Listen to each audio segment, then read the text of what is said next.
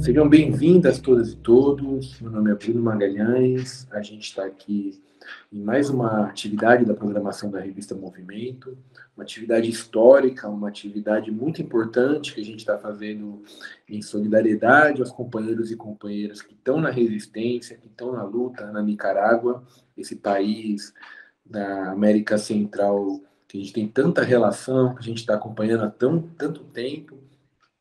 E hoje nós teremos uma atividade muito especial, porque estou eu aqui, nosso companheiro Antônio Neto, falando do Rio Grande do Sul, que também está participando dessa entrevista. E nós vamos estar entrevistando hoje aqui uma companheira histórica, uma liderança histórica do movimento sandinista, uma ex-guerrilheira, uma companheira que tomou em armas para lutar contra a ditadura de Somoza, que teve em sua vida pessoal muitas perdas né, familiares, que é a companheira Mônica Baltodano, uma das comandantes guerrilheiras e que sempre, desde é, da Revolução Sandinista, é, no, há décadas atrás, tem ocupado um papel de destaque na política nicaragüense, seja na luta revolucionária, seja na resistência ao que se transformou o projeto através da ditadura de Daniel Ortega, desde os anos 90, enfim, até hoje. A gente está acompanhando enquanto revista Movimento, enquanto movimento de esquerda socialista. Nós estamos acompanhando o processo do Comitê de Solidariedade à Nicarágua. Estivemos aqui recebendo a última caravana de solidariedade à Nicarágua que esteve no Brasil. E, bem, em 2018 e vamos falar um pouco, ouvir um pouco da companheira, essa companheira histórica com uma larga trajetória de luta, essa companheira Mônica. Muchísimas gracias por darnos este espacio, esta oportunidad para hablar contigo en, en, en este, en este programa eh, dirigido a, a, compañeros y compañeras eh, eh, brasileños. Eh, Efectivamente, yo estuve en la lucha contra la dictadura de Somoza eh, desde muy joven.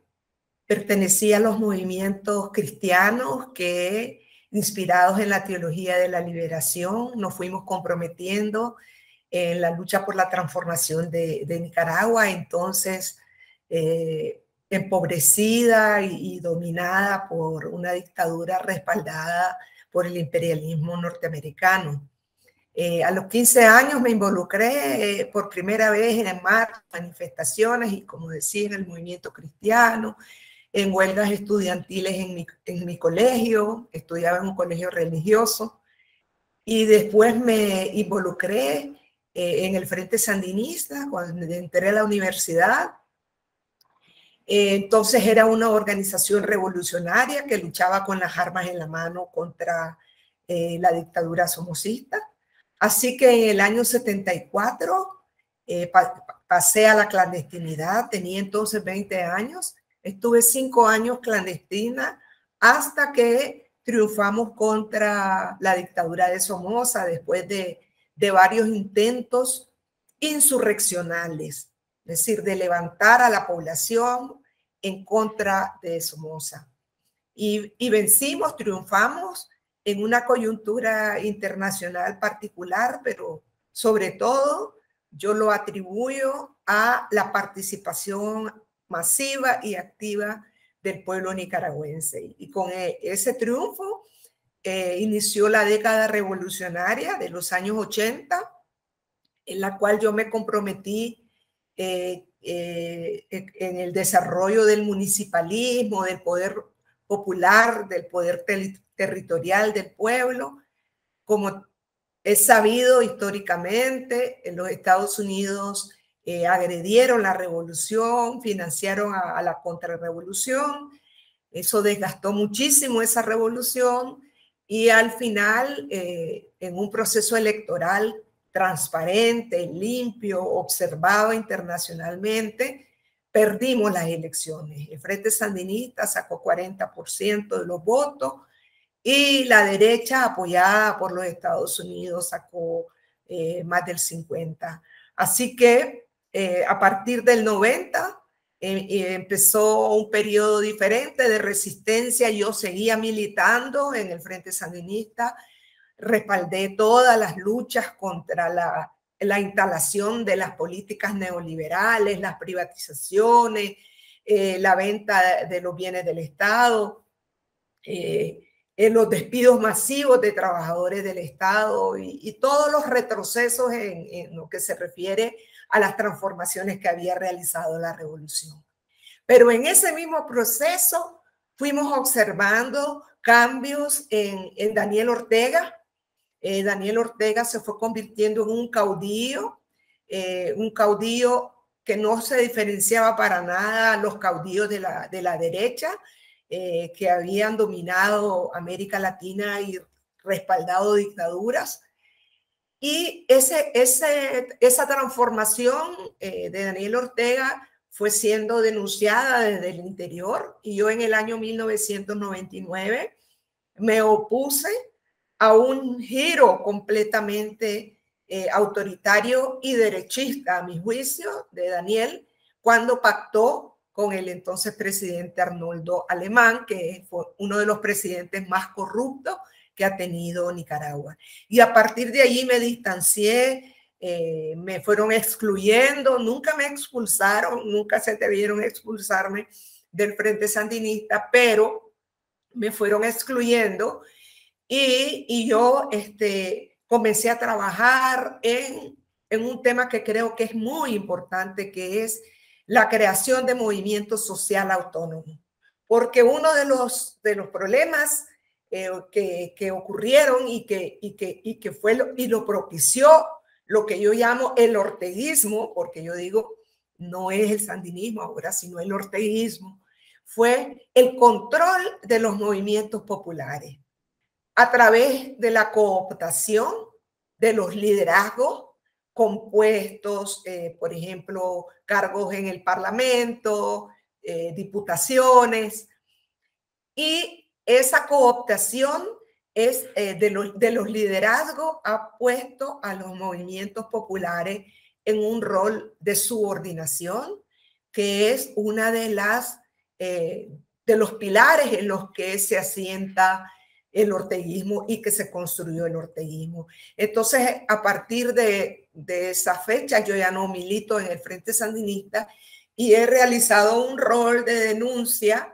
que obviamente cuando Ortega regresa al poder, esto se profundiza, esta deriva eh, eh, derechista, autoritaria, capitalista, se fortalece con el poder en sus manos y, y, se empieza ya a construir lo que ahora consideramos una dictadura, eh, pero no una dictadura cualquiera, una dictadura absolutamente represiva, criminal, con crímenes documentados de lesa humanidad eh, y de contenido absoluta y netamente neoliberal en su forma más brutales, ¿verdad? Pero con un discurso, con una retórica eh, revolucionaria, antiimperialista, que es la que confunde, engaña, o a veces digo yo, no engaña, sino que eh, quiere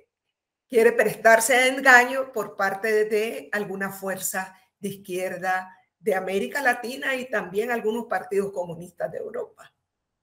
¿Qué fue el movimiento de renovación sandinista que usted y otros impulsaron y cómo, ah, cómo está viendo, cómo ve, cómo siente el, los juicios, ¿no? los encarcelamientos y todo. Mira, aquí, aquí quiero yo hacer una aclaración que, que para mí es sí muy importante. Yo nunca me involucré, no me incorporé al movimiento de renovación sandinista, eh, que surgió en el año 2000, eh, perdón, en el año 1995-96. Por el contrario, en ese momento yo estaba respaldando a Ortega y teníamos una corriente que se llamaba Izquierda Democrática yo no me involucré en el movimiento de renovación sandinista porque si bien compartía sus planteamientos de respecto a la democracia interna y a otros temas, tenía ciertas diferencias respecto a, a su propuesta ideológica. Pero cuando el movimiento Renovación Sandinista eh, se, se crea y nosotros nos quedamos dentro del Frente Sandinista, nosotros desde dentro empezamos a presionar, y yo siendo parte de la dirección nacional del Frente Sandinista, a presionar por la democratización interna que habíamos compartido con los renovadores. E incluso porque Daniel Ortega ya no volviera a ser el candidato a la presidencia, sino que hubiese otro candidato. Y parte de mis diferencias con Daniel comienzan a expresarse precisamente por el tema de, eh, de, de, que Daniel Ortega no debería de volver a ser el candidato, sino que deberíamos de buscar otra figura. Entonces, pero yo después, junto con otros compañeros, formamos el movimiento por el rescate del sandinismo. Es otro movimiento, pero como tiene más, la misma sigla, había mucha confusión. Este movimiento eh, también se formó eh, eh, de manera crítica hacia, hacia, hacia Ortega e incluso en este caso expulsaron a Víctor Hugo Tinoco, que es uno de los que está preso ahora, ¿verdad? Y expulsaron a Gerti Levites, que hay que decirlo, eh, fue un candidato que compitió con Daniel Ortega y te voy a decir tenía un amplio respaldo popular y murió cuando estaba comenzando la campaña electoral, en circunstancias todavía no aclaradas, ¿verdad? Es una interrogante que hay en la historia porque no se le hizo, no se le hizo autopsia, es, es, es un interrogante y lo puedo decir porque yo lo he sostenido. Muere Gerti Levites y el movimiento del rescate del sandinismo se debilita como opción electoral, ¿verdad? Porque la figura era Gerti Levites.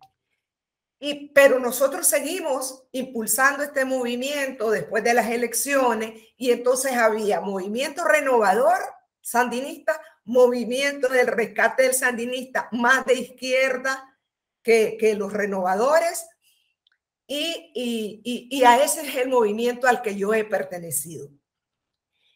Eh, María Mercedes creo que fue del movimiento renovador. Entonces, eh, ¿qué quiero decirte? ¿Cómo hemos visto nosotros esta transformación, esta deriva? Eh, la hemos visto con mucho dolor, porque obviamente al involucrarnos tan jóvenes en, una lucha tan hermosa como fue la lucha por la liberación de Nicaragua, con, enormes sueños, con sueños de que íbamos a, transformar las condiciones materiales de la mayoría del pueblo, un pueblo analfabeta, más de 80% de la población en pobreza. Eh, en el campo el 90% no sabía leer ni escribir, vivían en chozas, en el país más pobre de América Latina, entonces teníamos unos sueños enormes de transformación eh, que formaban parte de nuestra vida y de, y de nuestra militancia en el Frente Sandinista, con compañeros a los que le teníamos un gran aprecio. De manera que eh, esa, esa deriva y esas transformaciones y tener que abandonar el Frente Sandinista era como abandonar nuestra familia.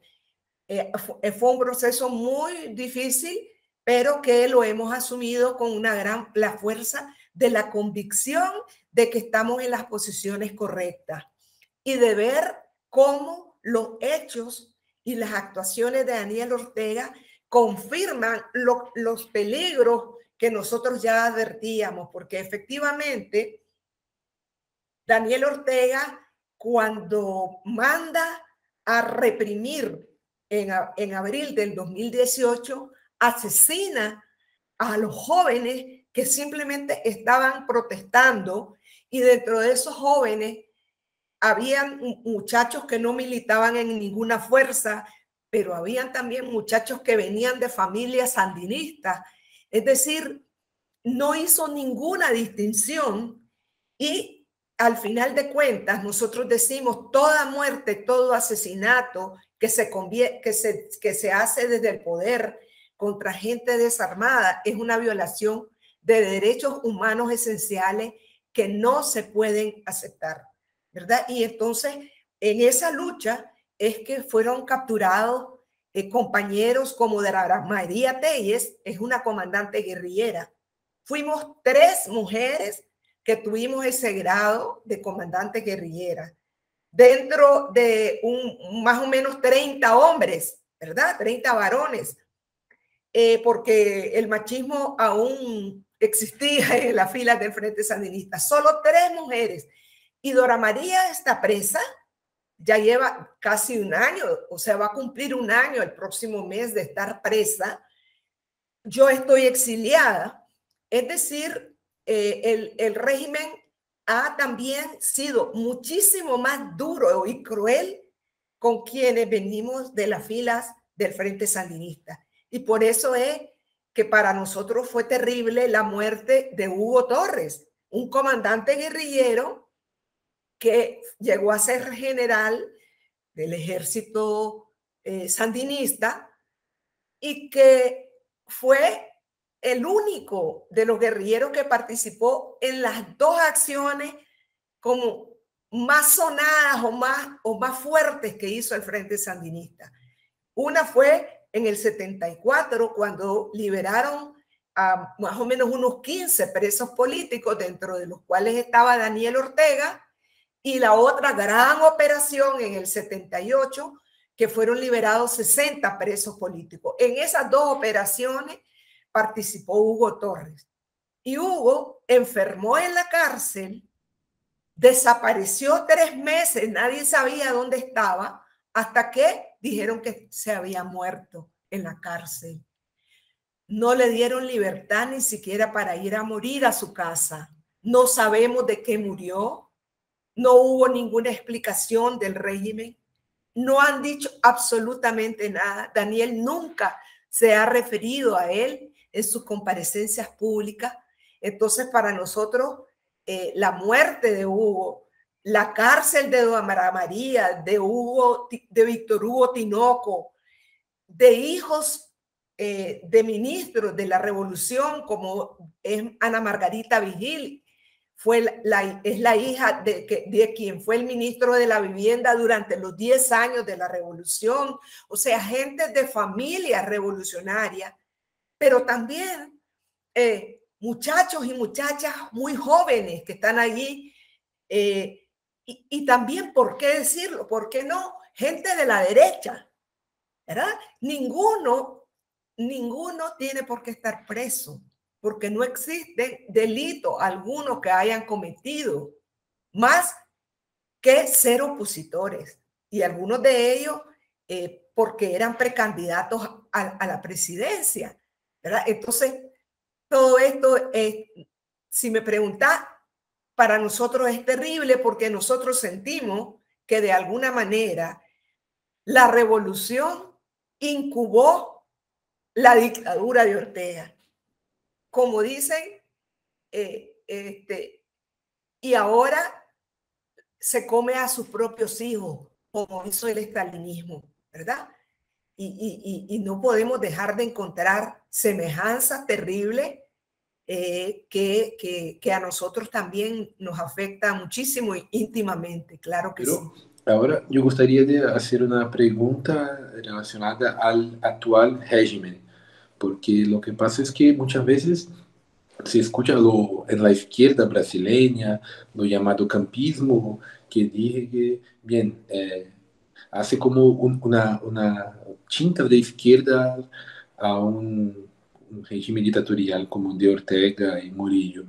Entonces, gustaría escuchar un poco más sobre, bien, cuáles fueron las acciones neoliberales. Nosotros sabemos que el régimen de Ortega tuvo una relación muy cercana al ejército de Estados Unidos mismo, bien.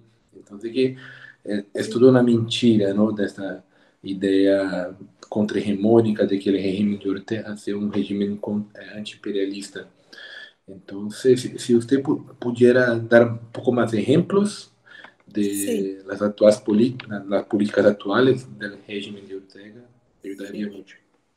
Mira, eh, desde que Daniel Ortega llegó al gobierno, hemos denunciado que el régimen que él impuso eh, no tiene ninguna, ni, ninguna vinculación, ninguna relación con las transformaciones que queríamos hacer en, la década revolucionaria.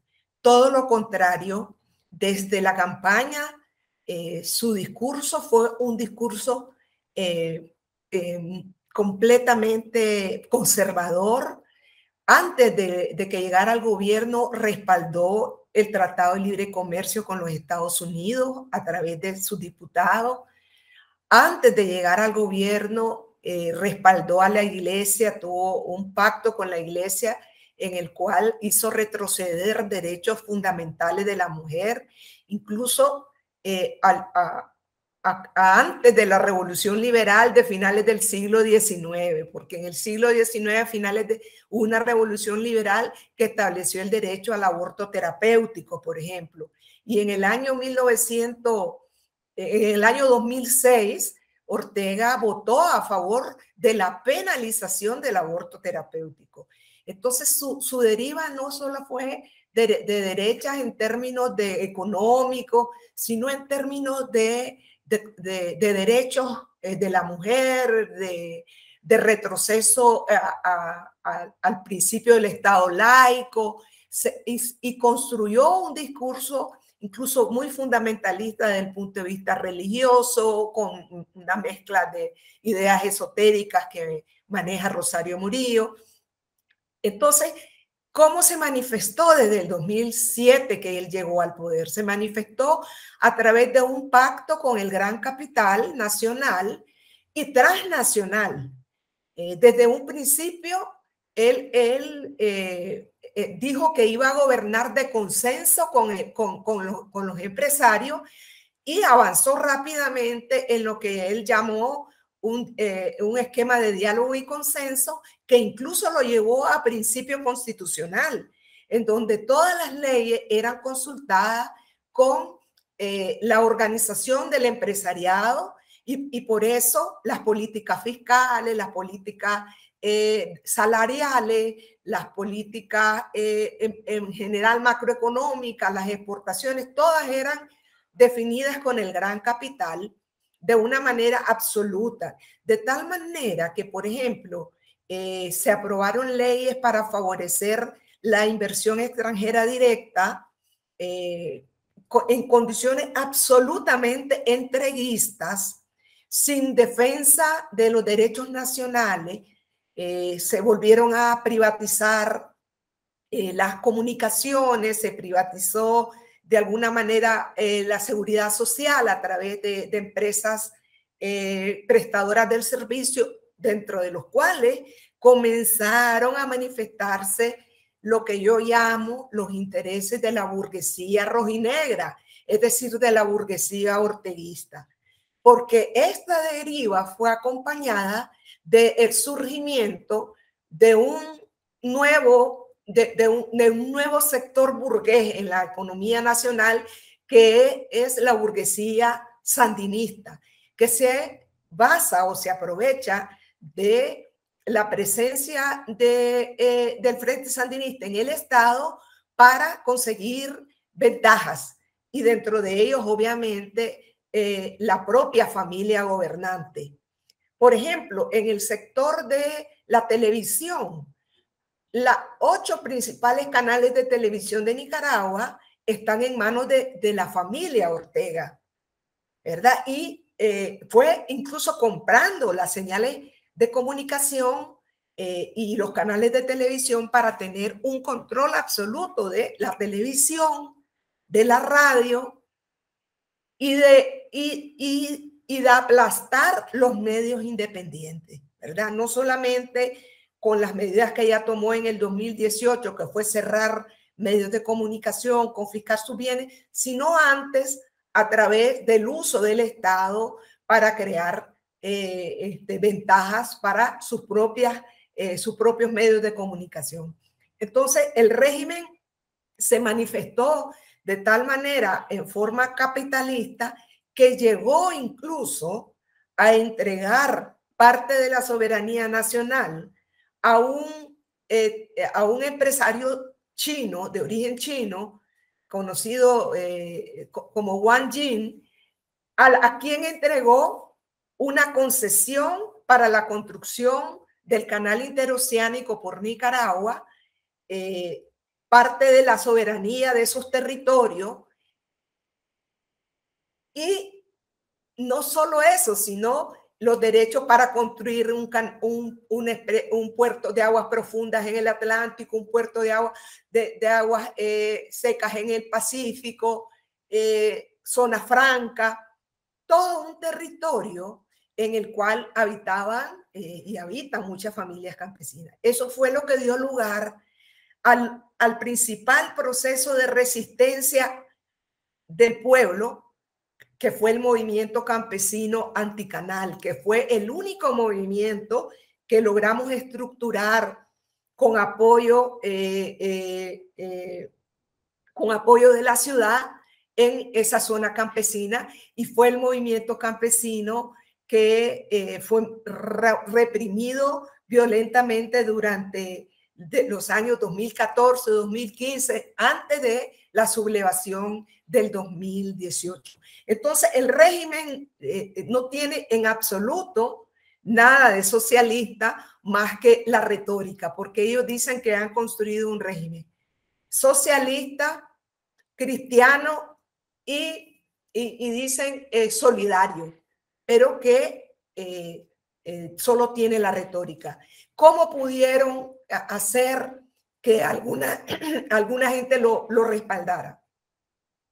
porque con ese discurso lograron eh, hacer una alianza con, Hugo Chávez, con Evo Morales, que llegaron a la toma de posesión en el, 2000, en el 2007. Y en, y, en esa alianza, en esa alianza, eh, Hugo Chávez le dio una concesión petrolera de manejo de petróleo que fue súper super ventajosa y le permitió a Ortega manejar eh, libre de disposición eh, sin rendir cuentas a nadie de 500 millones de dólares eh, anuales. En una economía que por entonces exportaba 1.200 millones de dólares, 500 millones de dólares es mucho dinero. Y ese dinero se lo dieron por la vía privada. O sea, no fue como un préstamo al Estado que debe de ser vigilado por, por, el Parlamento y, su uso hacerse de forma transparente. No, se lo dieron a formas privadas, a través de empresas privadas que le permitieron a Daniel Ortega usarlo para enriquecerse, para enriquecer a su círculo y para manejar políticas eh, de contención de las demandas populares. Es decir, sin hacer una reforma eh, al sistema de recaudaciones, le permitía disponer de fondos para programas eh, asistenciales para el pueblo, ¿verdad? Que no modificaban para nada la matriz productiva, que no modificaban el modelo neoliberal, que no modificaban para nada eh, el, rumbo de la, de la, economía, que fue un rumbo totalmente capitalista, crudo y duro, y, pero que le permitían eh, contener las demandas sociales, ¿verdad? Entonces, los, empresarios estaban felices porque nunca ganaron más dinero y lo tenemos en cifras, nosotros demostrado que nunca los capitalistas, tanto nacionales como internacionales, obtuvieron las ganancias que obtuvieron. Nicaragua en ese periodo creció en millonarios, ¿verdad? Teníamos más millonarios que Costa Rica con e, una economía que exportaba que cinco o diez veces más que Nicaragua, pero teníamos más millonarios en Nicaragua, ¿verdad? Y, y esas cifras eh, demuestran que el modelo no tenía absolutamente nada que ver con un modelo de transformación y que lo único era la utilización de la retórica para formar parte de un bloque eh, que le favorecía o que le facilitaba eh, los recursos que, de lo que estoy hablando. Y desde el punto de vista de su relación con los Estados Unidos, hay que decirlo, eh, nosotros demostramos que los Estados Unidos les interesaban tres cosas fundamentales con Nicaragua. El modelo económico, que era bollantemente capitalista eh, y que entró a los tratados de libre comercio con los Estados Unidos de la, de la mejor manera. Nicaragua hasta hoy eh, sigue exportando la mayoría de sus productos a los Estados Unidos, casi 60% del comercio eh, exterior de Nicaragua se hace con los Estados Unidos. El segundo gran elemento que le interesaba a los Estados Unidos la política eh, contra el crimen organizado que le permitía incluso presencia militar en Nicaragua, en aguas territoriales. Nicaragua permitía la presencia de, los marines norteamericanos con el argumento de la persecución al crimen organizado. Y el tercer elemento es la contención de la migración. Nicaragua se convirtió en el muro más insondable y más, y más eh, fuerte para la migración del sur hacia el norte. De manera que aquí hubo momentos en Nicaragua aquí en, Costa Rica, donde habían 5 mil, 3 mil cubanos, haitianos que no dejaba pasar eh, este, las políticas migratorias de Nicaragua. Entonces los Estados Unidos estaban muy contentos con, con Nicaragua, no tenían grandes problemas, de tal manera en algunas ocasiones los embajadores eh, de, de, Estados Unidos y Nicaragua llegaron a declarar que no les importaba la retórica de, Ortega, antiimperialista, entre comillas, ¿verdad? Porque lo que les importaba es las políticas reales de Ortega y con ellas los Estados Unidos no tenían ningún problema. El ejército tenía buenas relaciones con el Comando Sur. Fíjate cómo será que hace, hace unos meses, en diciembre, el jefe del Comando Sur llegó a Nicaragua y dio un discurso este, de, eh, eh, de solo reconocimientos al ejército de Nicaragua, de una gran amistad con el ejército de Nicaragua, de tal manera que el Departamento de Estado tuvo que sacar una, una declaración diciendo que no compartían esas declaraciones del jefe del Comando Sur, ¿verdad? porque el, el, jefe del Comando Sur como que se salió de la línea, digamos, de los Estados Unidos del Departamento de Estado. Se pasó. Eso, eso, porque ellos tienen excelentes relaciones con el ejército, ¿verdad? Y no sabemos ahora que eh, este, el gobierno de Nicaragua ha derivado en apoyo a la invasión rusa en Ucrania, si esas, esas relaciones se han comenzado a, afectar, ¿verdad? Pero si uno analiza las políticas de los Estados Unidos hasta el día de hoy, la, lo que hace también de alguna manera es bastante retórico, ¿verdad? Ellos condenan al, gobierno de, Nicaragua, ellos eh, eh, hablan de derechos humanos, sancionan, pero las sanciones son de carácter personal, ¿verdad? Pero siguen manteniendo unas buenas relaciones económicas. Eh, los organismos financieros siguen dando fondos a Nicaragua.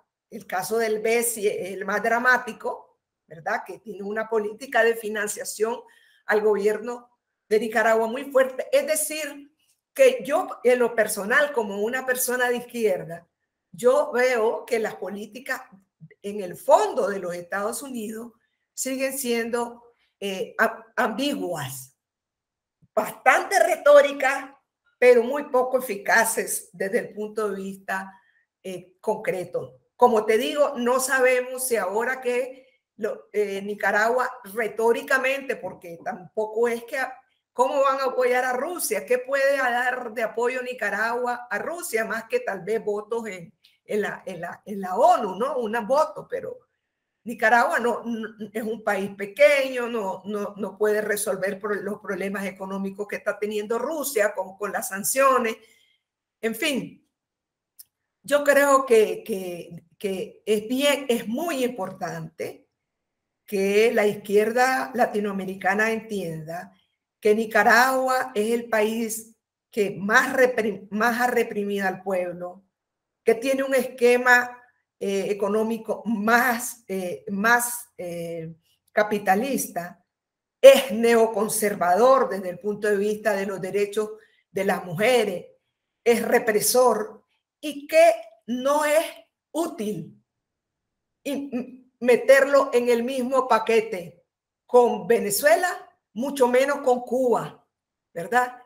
Y, por eso eh, las recientes posiciones de, de, López Obrador son bien desafortunadas cuando, cuando mete a Nicaragua, a Cuba y a Venezuela en, un, en, un, en un mismo bolsón que no permite diferenciar el nivel de brutalidad con el que Nicaragua eh, está tratando a, los nicaragüenses y no permite eh, diferenciar eh, las condiciones históricas incluso en las que se ha desenvuelto la revolución cubana de una forma muy distinta a la que este, ha derivado el régimen de Ortega y Murillo.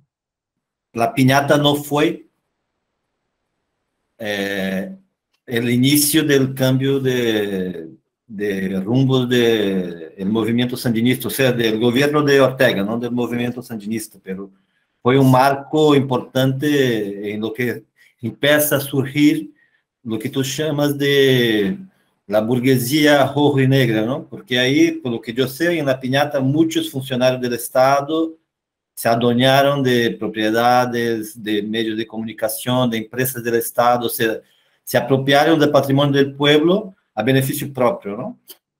Como un marco, un marco de un cambio profundo, creo, porque ahí cambia la naturaleza del individuo. ¿no? Sí. Se pasa a propietarios de medios de producción, de bienes del Estado, de, de, de cosas que generan valor, generan riqueza. Eh, yo quisiera que tú comentara un poco que, que, fue la piñata, pero además de eso, en 2018 hubo una grande insurrección popular, una grande movilización popular en contra de la reforma del de, sistema de jubilaciones.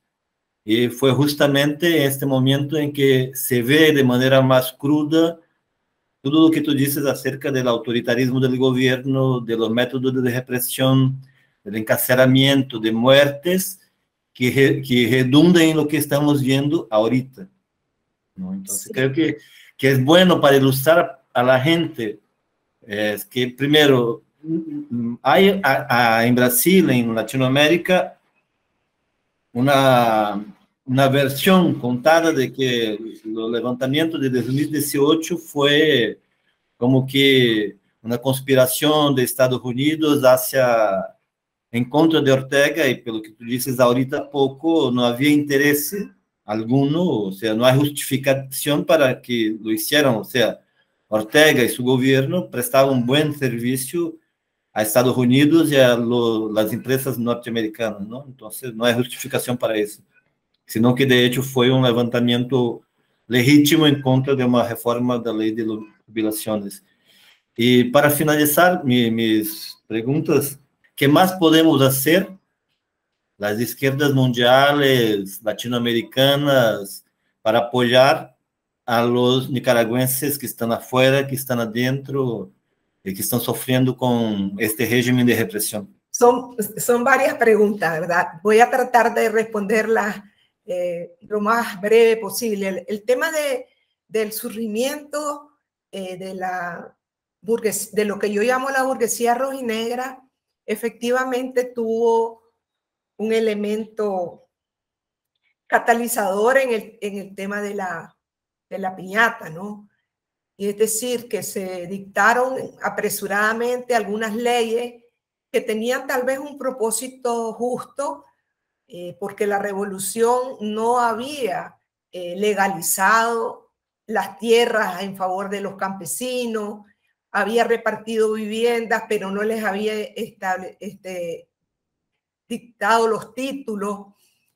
Entonces, eh, había una razón justa al dictar leyes que favorecieran eh, que eh, estas propiedades se aseguraran a sus legítimos dueños, ¿no? El pueblo, las cooperativas, etcétera.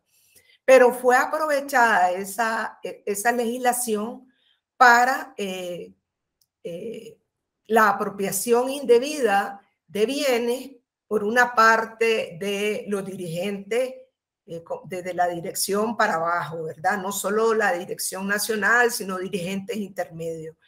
Y, yo creo que eso sirvió como un mecanismo de acumulación originaria en favor de lo que luego sería eh, el empresariado sandinista, que empezó a jugar un rol muy fuerte eh, dentro de la fila del Frente Sandinista, junto a Daniel Ortega, y explica eh, la, mutación, digamos, eh, mental, ideológica eh, y la conversión de revolucionarios en, en, burgueses, pues, ¿verdad? Cuya única preocupación es la ganancia, la multiplicación de, de sus bienes y, y, en ello va también luego el compromiso con medidas represivas contra el pueblo cuando el pueblo se levanta. Eh, yo he denunciado, y hay un texto que está en la página de la Fundación Rosa Luxemburgo, en donde doy detalles de que la represión eh, del régimen orteísta comenzó mucho antes del 2018. Incluso en el propio 2008 que hubo elecciones municipales fraudulentas, la represión fue brutal, ¿verdad? Contra las protestas que se levantaron eh, por la, el fraude electoral que se practicó particularmente en Managua y en León. En esa ocasión la represión fue con grupos eh, de paramilitares o grupos de fanáticos, pero fue muy violenta. ¿verdad? Y, fue la el, primer gesto, estamos hablando en el 2008, las elecciones fueron en noviembre y las protestas fueron en ese mes. Y hay imágenes durísimas de esa, de esa represión. Y después también hubo, eh, han, por lo menos se han demostrado por lo menos 30 ejecuciones extrajudiciales, ¿verdad? Estas, estas realizadas por el ejército en la montaña, contra alzados eh, que en vez de ser capturados o, en vez de ser eh, reprimidos de otra forma, fueron ejecutados. ¿verdad? Y está demostrado porque eh, fueron supuestos combates en donde no, no hubo ningún herido del ejército y solamente fueron muertos masivamente de grupos alzados. Entonces, cuando llegamos, y, después también hablaba de las represiones que iniciaron en el 2014 con las, contra las marchas campesinas, eh, de los campesinos que se manifestaron en contra del canal interoceánico o de la, expropiación que iban a sufrir de sus tierras con esa concesión. Eh, allí también hubo gente que perdió ojos, heridos, gente que quedó lisiada y, presos y prisioneros. Pero obviamente cuando llegamos al 2018, eh, ya es evidente, hay un cansancio de la gente por la represión y, y hay manifestaciones eh, espontáneas de la gente cuando reprimen las manifestaciones de ancianos, ancianos que protestaban porque les iban a reducir sus pensiones con la, con la reforma de de la ley, eh, de, la ley de la seguridad social.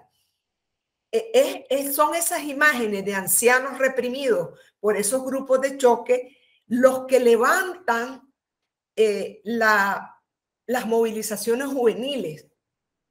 las tomas de universidades. Y es la represión, son los muertos los que promueven lo que se ha llamado los tranques, la barricada. Porque cuando, cuando uno mira las cifras de cómo fue la represión, uno tiene que notar que el primer, el primer día hubo un, un asesinado, el segundo día hubo 15 asesinados, el tercer día 30 asesinados, el cuarto día llegaron a 50. Entonces, en los primeros días, la represión fue disparar a los grupos juveniles principalmente. Y al final, entonces, ¿qué es lo que hizo la gente? Levantar barricadas. Y cuando uno indaga desde el punto de vista de la memoria histórica, y, hay gente que ya ha empezado a escribir de ello, uno se da cuenta que Masaya, por ejemplo, que es un departamento con una historia de mucha rebeldía, eh, en donde eh, se insurreccionó el barrio Monimbó en el, año, en el año 78 contra la dictadura de Somoza, fue una, una insurrección espontánea de un barrio indígena. Ese barrio indígena en, en, este, en esta sublevación del 2018, 30 o 40 años después, fueron los ancianos que se levantaron en el 78, los que le dijeron a los jóvenes, hay que hacer barricadas. ¿Verdad? Fue una, la memoria histórica de lo que luchamos contra Somoza la que le indicó a los jóvenes que había que hacer barricadas. Ellos no sabían cómo, es, cómo era eso.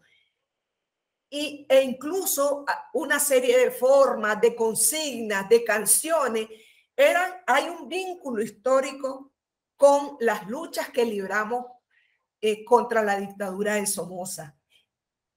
¿Y por qué levantan barricadas? Para protegerse de la represión. O sea, los tranques y las barricadas son el resultado de la propia decisión del régimen de responder con balas, con francotiradores, porque las balas eran a la cabeza, al corazón.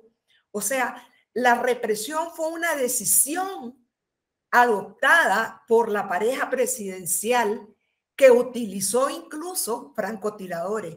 Y eso está demostrado en los informes de la CIDH, ¿verdad? Hay incluso videos que demuestran que no fue que la, la, policía disparó a lo loco, no, fue hay que disparar a la cabeza, ¿verdad? Entonces, eso fue lo que motivó el, levantamiento de la población.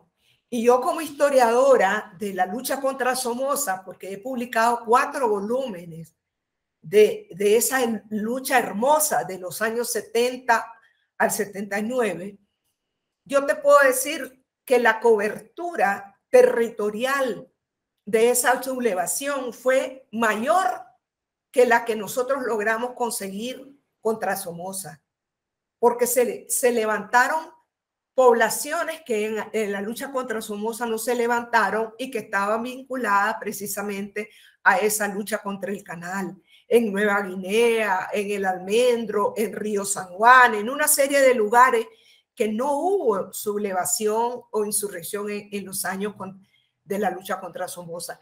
Entonces, fue un levantamiento motivado por la represión. Es un absurdo que se quiera vincular eso a la acción del imperialismo, ¿verdad? El pueblo no actúa así. Una, sublevación tan amplia, tan popular, solo puede ser resultado de la voluntad popular y del, y del efecto de la propia acción de, eh, del gobierno que vino en un acumulado represivo que está demostrado ya con cifras y que está demostrado eh, con muchas evidencias, ¿verdad? Entonces, es, eso fue lo que pasó y, y, la, y la sublevación logró mantenerse mayo, todo el mes de mayo, ¿verdad? Y parte de abril.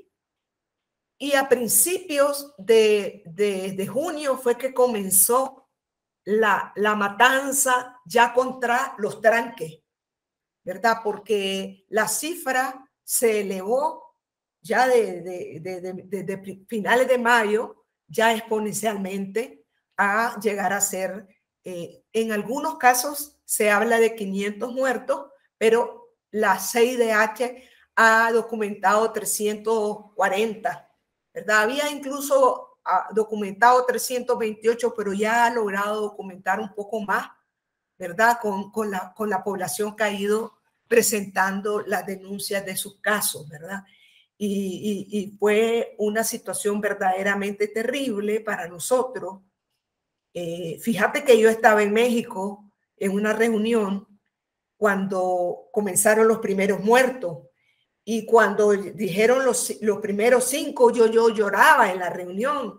Y cuando al día siguiente me decían, hay 20 más, lloraba mucho más hasta que me dijeron, si quieres, te puedes ir, porque yo estaba en una reunión de trabajo y me dicen, no, no tenemos ningún problema que te regreses. Y yo me regresé antes que terminara la reunión porque yo no podía concebir que mis ex compañeros que estaban en la policía, mis ex compañeros que estaban en el ejército, estuvieran practicando crímenes que nosotros habíamos repudiado en los años 70.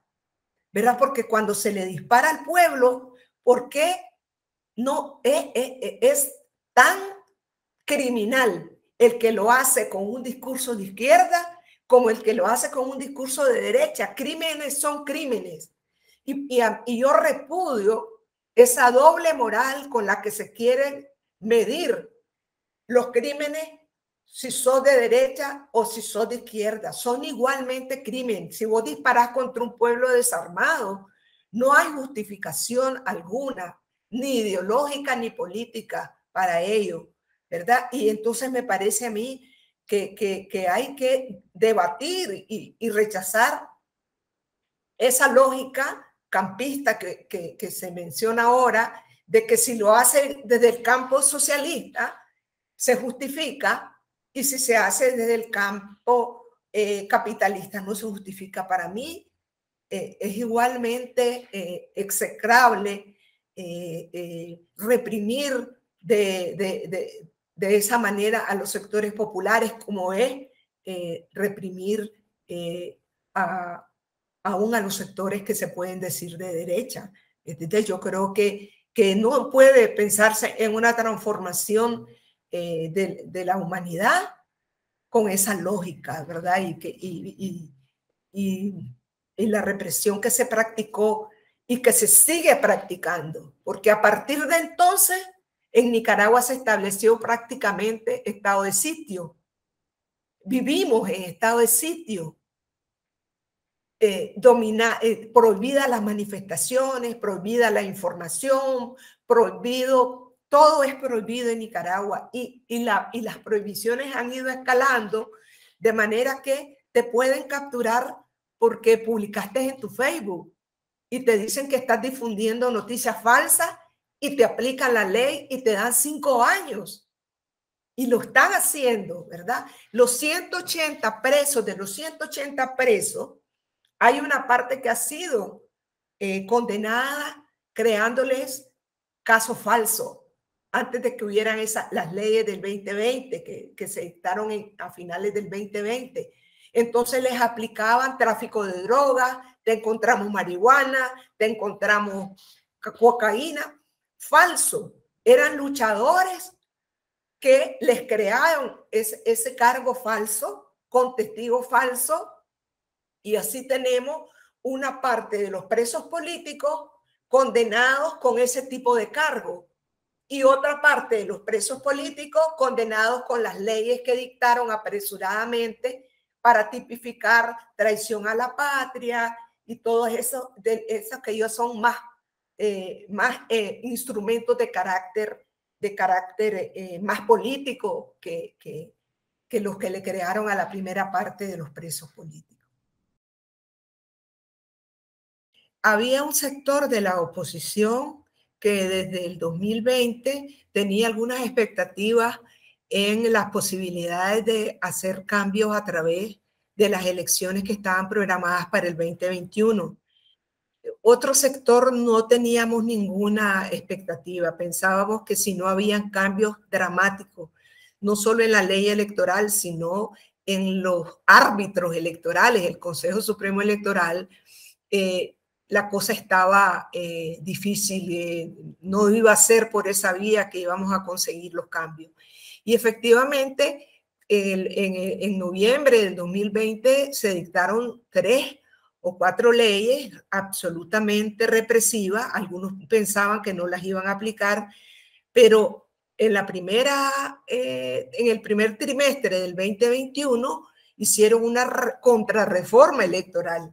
En vez de eh, hacer las modificaciones que facilitaran la observación electoral, la participación eh, de la oposición, hicieron una contrarreforma que evidenciaba que no estaban pensando en elecciones libres.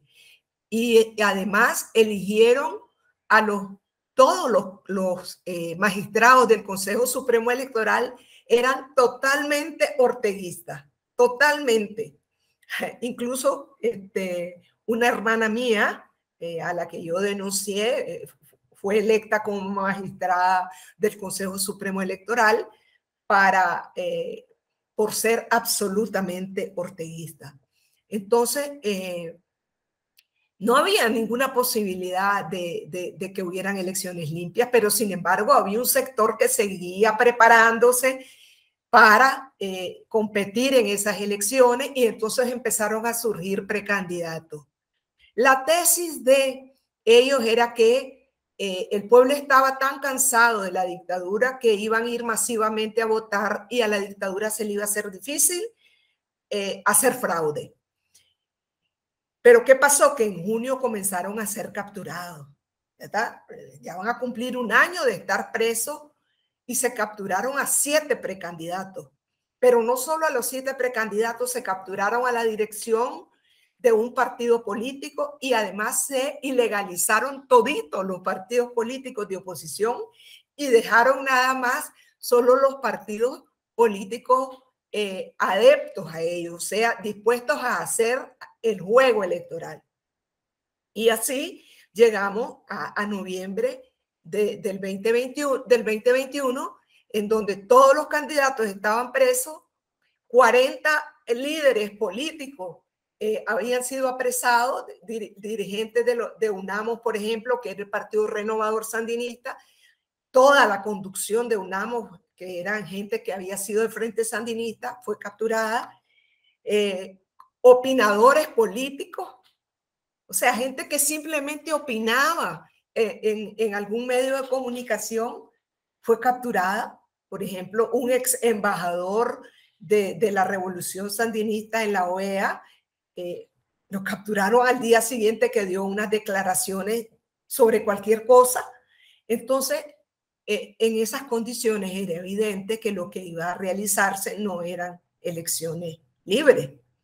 ¿verdad? E, e, él concurrió literalmente solo con un Consejo Supremo Electoral totalmente subordinado, sin competencia, con todos los candidatos presos. Entonces, eh, eso no fueron elecciones, ni siquiera lo llamaría un fraude, sino que fue una opereta burda que eh, fue repudiada por más de 50 países del mundo, no las reconocieron y todo el mundo pensaba, bueno, ahora que ya se, se va a volver a autoponer, ¿verdad? Autoproclamar eh, presidente por otro periodo más, con su esposa como vicepresidenta por otro periodo más, va a tal vez a liberar a los presos. Pero ¿qué es lo que hemos visto? Los presos políticos eh, fueron juzgados sin ningún tipo de garantía legal, fueron juicios realmente otra farsa, ahora una farsa judicial, sin derecho a la defensa, sin comunicación con sus abogados, se realizaron en las propias celdas, eh, violando todas las garantías procesales y de todos condenados entre 7 y 15 años de cárcel.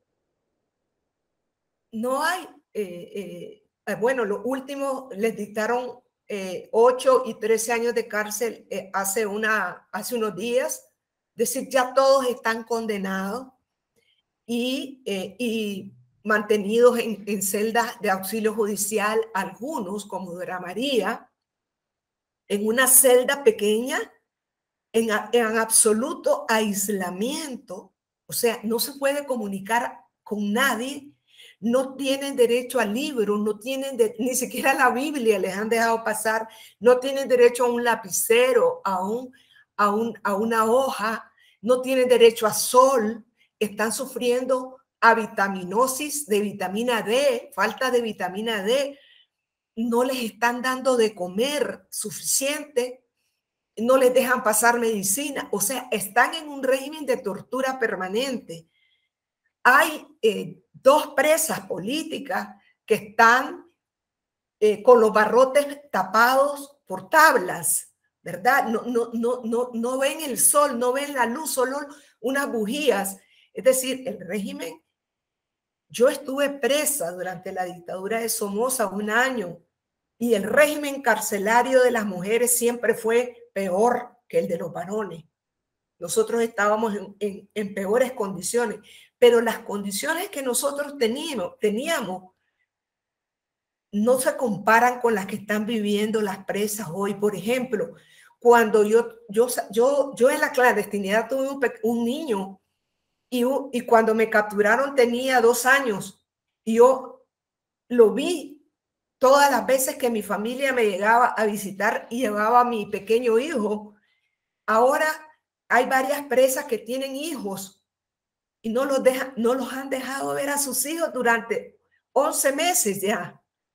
Entonces son condiciones absolutamente violentas con los derechos esenciales, porque hoy el pueblo de Nicaragua decidió hacer la resistencia por la vía pacífica y cívica.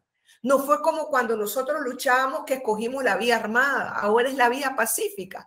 Por eso la represión es, es, absurdamente dura, porque ni siquiera hemos enfrentado el orteguismo con las armas, lo estamos enfrentando con la voz, con, con, la movilización, con, con la solidaridad. Entonces, eh, llamamos a esa conferencia, pero también llamamos a elevar propuestas como la creación de comités de solidaridad, a hacer trabajo con las izquierdas, que son las que han estado hasta el momento expresándose, no todas las izquierdas, ¿no? Con las izquierdas más institucionales, el progresismo, ¿verdad? Gobiernos como, como, como, como el de Bolivia, eh, que, siguen, eh, eh, que siguen respaldando al régimen de Ortega a pesar de las demostradas este, manifestaciones de crueldad con la que ha reprimido al pueblo y que no tienen nada que ver con los valores tradicionales de la verdadera izquierda, con el humanismo de la verdadera izquierda, con el humanismo socialista, no tienen nada que ver, ¿verdad? Y nosotros llamamos eh, a, esa, a, esa, a, ese despertar, ¿verdad? De, de, la solidaridad de los pueblos y de las militancias eh, con, con, el pueblo de Nicaragua. Sí. Nossa, Mônica, gracias por tu tiempo, gracias por sí. paciencia, gracias por dispor de tu trayectoria y las informaciones. Creo que será muy útil para nosotros en Brasil que pouco conhecemos da história de Nicarágua, os que não conhecem, não. Gracias, Bruno, e gracias, Antonio. Sí, de nada. É um honor para nós, companheira. Muchas Bien. gracias, Mimo. Sí. Bien.